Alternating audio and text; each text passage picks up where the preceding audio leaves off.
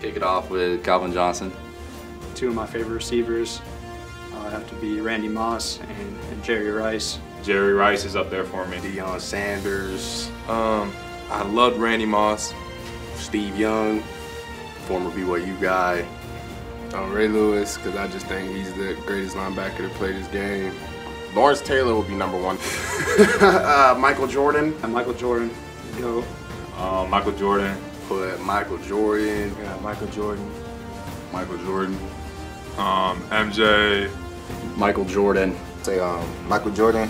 MJ, just because he's the GOAT. Go Michael Jordan. Because he's um, LeBron. Uh, LeBron James. LeBron James. LeBron James. Say LeBron. LeBron James. LeBron James, because he's my favorite player of all time.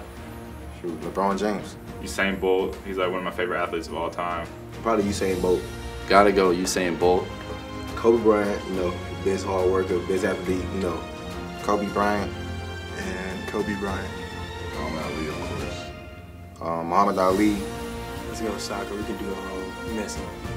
I would take uh, Oliver Kahn. Uh, Louis Zamperini would probably be number one. Ooh, at the top, at the top would probably be Ronaldinho. That was like my childhood soccer hero. Gotta go with Derek Jeter. Jalen Ramsey as well, you know. We played out of my game after. him. Aaron Donald. First and foremost, my big brother Aaron Donald, Pittsburgh native like myself. Let's say Aaron Donald. Your coaches count? Sean McVay.